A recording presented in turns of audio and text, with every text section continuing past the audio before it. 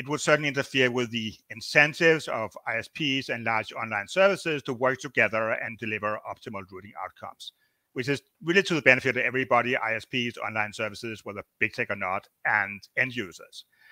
And one concrete example of that would be looking at South Korea, where the sending party network uh, pay, uh, payment model has been introduced with rather disastrous consequences. Um, worse service for end users hmm. uh, because uh, Facebook moves its its online uh, caching outside South Korea, so there's slower access to Facebook, um, and similar negative consequences, which basically results from no longer using the optimal um, optimal arrangements for uh, delivering internet traffic.